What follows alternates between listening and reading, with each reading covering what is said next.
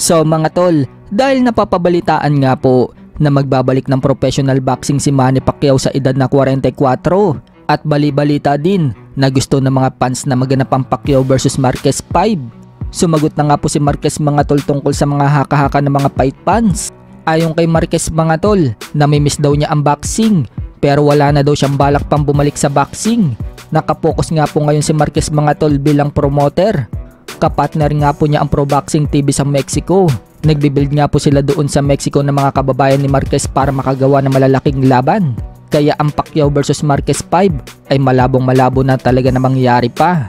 Kung matatandaan din natin mga tol, matapos nga pong pabagsakin ni Marquez si Pacquiao sa round 6 noong pang-apat nilang paghaharap, tumanggi nga po si Marquez na labanan muli si Manny Pacquiao. Noong mag-alok ang kampo ni Pacquiao ng 100 million US dollars, hanggang ngayon, wala na talaga sa isip ni Marquez na lumabang pa sa boxing. Isang karangalan kasi sa kanya mga tol at sa bansa niya na mapatulog niya ang 8 Division World Champion na si Pacquiao at nakaukit na yan sa bansang Mexico.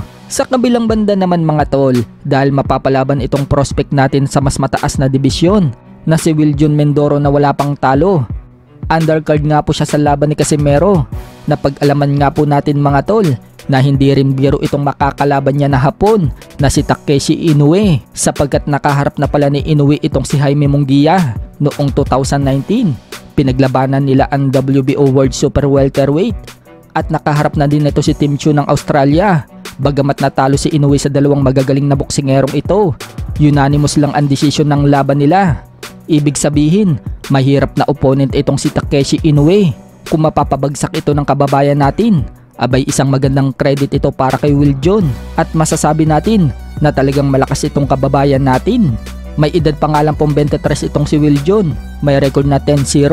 Lahat ng nakalaban niya mga tol galing sa knockouts. Sa kabilang dako naman mga tol, dahil undercard nga din po si Carl James Martin sa laban ni Casimero versus ni Tumbua na magaganap ngayong May 13 sa Okada, Manila. Tuloy-tuloy nga po ang training ni Wonderboy. Nakipag-sparring nga po ito kay Kevin The Great at Mel Pahardo. Silipin natin mga tol ang konting highlights ng sparring nila. Credit nga po ang video na ito kay Kevin The Great TV. Pakisubscribe na din po ang kanyang YouTube channel.